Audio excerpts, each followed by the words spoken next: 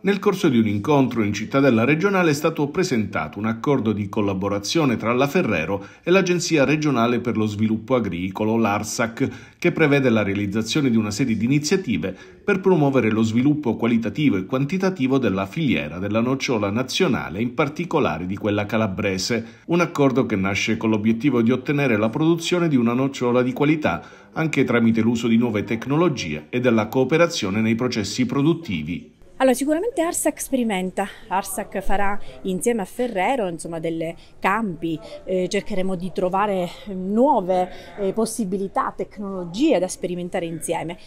Tutto sta nella divulgazione poi alla fine di questa sperimentazione e far capire che è una possibilità concreta di investimento e di riuscita. L'imprenditoria agricola calabrese ha fatto passi da gigante.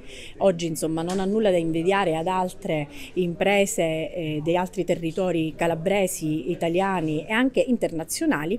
Vuole dimostrarlo però avendo naturalmente tranquillità sul ritorno del reddito, quindi insomma è eh, un momento importante e Ferrero in questo può essere un partner importante. La Calabria è la quinta regione per produzione di nocciole. Se si considera che l'Italia attualmente importa una quantità di nocciole pari a circa il 50% del proprio fabbisogno interno, è evidente l'importanza di favorire lo sviluppo della produzione e del reddito generato dal settore, incrementando l'occupazione e valorizzando le vocazioni produttive del territorio. Beh, è una declinazione del mm, percorso sulla frutta a guscio nella nostra regione noi abbiamo licenziato un primo bando con una graduatoria che ha finanziato 120 ettari di nuovi noccioleti, ma anche tanti altri ettari di frutta guscio. E abbiamo adesso in corso un altro bando appena scaduto e probabilmente ci saranno nuovi ettari finanziati perché abbiamo voluto assecondare questo accordo fra ASAC e Ferrero per fare in modo che ci sia anche in Calabria una filiera della nocciola che possa